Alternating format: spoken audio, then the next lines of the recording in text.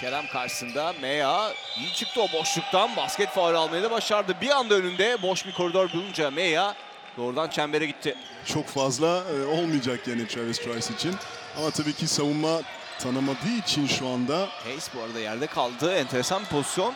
Top oradan çıkmayı başardı Meya. Şimdi çok süratli. Williams'le ikili oyun. Arkadan da Oldrich geldi ama evet Meya affetmedi. fiziksel avantajı kullanmak burada zor olacak onun için. Bu arada Tofaş'ta önce Muhsin'in bloğu sonrası yine hızlı ucumda geniş alanda Meya'nın ters turnikesi molaya götürdü. Aran Üniversitesi Büyükçekmece'yi. James Rice, Barış. Çok iyi Sağda motion. bomboş kaldı Meya. Meya Çok bu iyi. hücumu 3 sayıyla bitiriyor. Çok iyi. Bu arada Meya'ya müthiş bir pas. Meya çok Oo. yüksek bıraktı. Gerçekten iyi tamamladılar bu Yani- organizasyonu. Orada oyun kurucu sorumluluğu oluyor. O çok Barış Ermiş bu arada Meya'ya. Meya uzandı orada. Müthiş. İsabeti buldu. Evet. Barış. Meya hemen elinden çıkarttı. Üçlüyü gönderdi. Ama ikilik ayağı çizgideydi. Gibson.